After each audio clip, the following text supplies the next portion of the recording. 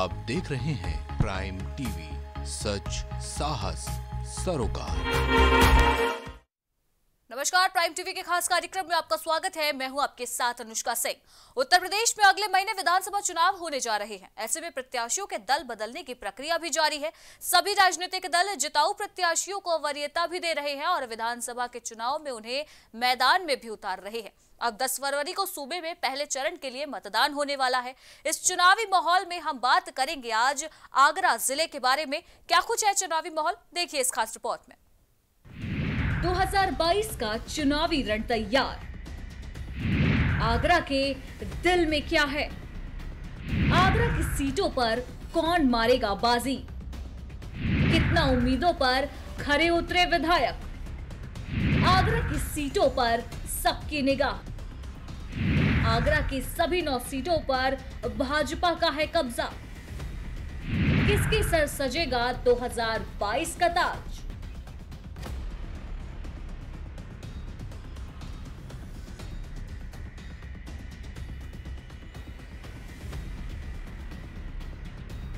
उत्तर प्रदेश के आगरा ज़िले में नौ विधानसभा सीटें आती हैं। दलितों की संख्या इस क्षेत्र में अधिक होने की वजह से इसे दलितों की राजधानी भी कहा जाता है। आगरा ज़िले में छह तहसीलें हैं। इनमें एतमादपुर, आगरा, किरौली, खैरागढ़, फतेहाबाद और बाह शामिल है। यहाँ दो लोकसभा निर्वाचन क्षेत्र हैं। इनमें फतेहपुर सीकरी और आगरा शामिल है। साल 2017 के विधानसभा चुनाव में पहली बार आगरा की सभी नौ सीटों पर बीजेपी ने झंडा फहराया था। फतेहपुर सीकरी खैरागढ़, फतेहाबाद, बाह, आगरा उत्तर, आगरा ग्रामीण, आगरा साउथ, एतमादपुर और आगरा छावनी में 2017 के विधानसभा चुनाव में बीजेपी ने प्रचंड जीत दर्ज की थी। आज़ादी के बाद पहली बार किसी पार्टी ने आगरा में विधानसभा चुनावों में इतनी बड़ी जीत दर्ज की थी। दलितों की राजधानी माने जाने वाले आगरा में बीजेपी ने ऐतिहासिक जीत हासिल की थी। यहाँ पहली बार नौ सीटों को बीजेपी ने बड़े अंतर से कब्जा किया था। जीत का अंतर भी ज़बरदस्त रहा। सबसे कम अंतर से बाह विधानसभा सीट से रानी बख्शौलिका सिंह की 23,140 वोट से जीत हुई थी। वहीं आगरा उत्तर से जगन प्रसाद गर्ग सबसे ज़्यादा छियासी हज़ार वोटों के अंतर से विजयी हुए थे। बसपा आठ सीटों पर दूसरे स्थान पर रही। सिर्फ़ एक ही सीट पर सपा ने दूसरा स्थान पाया था।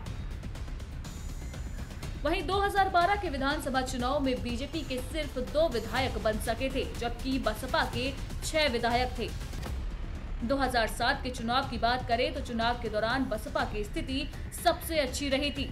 उस वक्त बसपा के साथ और भाजपा के दो विधायक थे। तो वहीं 2017 के विधानसभा चुनाव में सारे रिकॉर्ड तोड़ते हुए भाजपा ने आगरा की सारी नौ विधानसभा सीटों को अपने कब्जे में लेकर प्रचंड जीत को हासिल किया था। 2017 के विधानसभा चुनावों में बीजेपी के विजयी प्रत्याशी। बाह विधानसभा से रानी बख्शालिका सिंह ने जीत हासिल की। बसपा के मधुसूदन शर्मा को दी शिकस्त। आगरा छावनी विधानसभा से डॉक्टर गिरिराज सिंह धर्मेश ने जीत की दर्ज। बसपा के गुटियारी लाल दोवेश को दी शिकस्त। आगरा नॉर्थ विधानसभा से जगन प्रसाद गर्ग ने दर्ज की जीत। बसपा के ज्ञानेंद्र गौतम को दी शिकस्त। आगरा ग्रामीण विधानसभा से हेमलता दिवाकर ने दर्ज की जीत। बसपा के कालीचरण सुमन को दी शिकस्त। आगरा साउथ विधानसभा से योगेंद्र उपाध्याय ने दर्ज की जीत। बसपा से जुल्फिकार भुट्टो को दी शिकस्त। फतेहपुर सीकरी विधानसभा से चौधरी उदयभान सिंह ने दर्ज की जीत। बसपा के सूरजपाल सिंह को दी शिकस्त। खैरागढ़ विधानसभा से महेश कुमार गोयल ने दर्ज की जीत। बसपा से भगवान सिंह कुशवाहा को दी शिकस्त। फतेहाबाद विधानसभा से जितेंद्र वर्मा ने दर्ज की जीत। सपा से राजेंद्र सिंह को दी शिकस्त। एतमादपुर विधानसभा से राम प्रताप सिंह ने दर्ज की जीत। बसपा के डॉक्टर धर्मपाल सिंह को दी शिकस्त। आगरा की नौ विधानसभा सीटों की जनसंख्या कुल मतदाताओं की संख्या चौतीस लाख इकसठ हज़ार पाँच सौ तिहत्तर। पुरुष मतदाताओं की संख्या अठारह लाख अस्सी हज़ार चार सौ पचपन। महिला मतदाताओं की संख्या पंद्रह लाख इक्यासी हज़ार एक सौ तीन। आगरा की छावनी विधानसभा सीट पर साल उन्नीस से उन्नीस तक कांग्रेस पार्टी का कब्जा रहा है। उन्नीस सौ नवासी के विधानसभा चुनाव में इस सीट पर बीजेपी ने अपना खाता खोला, जिसके बाद बीजेपी की जीत का सिलसिला उन्नीस तक जारी रहा। वही साल 2002 के चुनाव में बसपा ने आगरा छावनी सीट पर अपनी उपस्थिति दर्ज करवाई और बसपा की जीत का सिलसिला 2007 और 2012 के चुनाव में भी इसी प्रकार से जारी रहा। वहीं साल 2017 में भाजपा ने 15 साल बाद वापसी करते हुए बीजेपी प्रचंड जीत हासिल कर उन्होंने वहाँ पर अपना कमल खिलाया। वही हमारे संवाददाता अमित शर्मा ने छावनी विधानसभा से राजनीतिक दलों की चुनावी गतिविधियों पर प्रकाश डाला। आगामी विधानसभा को देखते हुए सभी राजनीतिक पार्टियों ने अपने अपने प्रत्याशी मैदान में घोषणा कर दी है। जिन प्रत्याशियों की और प्रत्याशी लगातार अपनी अपनी जनताओं के बीच में जा रहे हैं और अपने वोटों के लिए प्रत्याशी लगातार रात और दिन एक कर रहे हैं। बात करें, अब अगर हम छावनी विधानसभा की तो यहाँ से भाजपा, सपा, बसपा और कांग्रेस समेत अन्य जो निर्दलीय प्रत्याशी जो यहाँ चुनाव में मैदान में उतरे हैं और लगातार वो जनता के बीच जा रहे हैं और जो आचार संहिता का जो नियम है, जो नियमावली उन्होंने जारी की है, उसके अनुसार ही वो यहाँ पर लगातार जनता के बीच जाकर अपने लिए वोटों की मांग कर रहे हैं।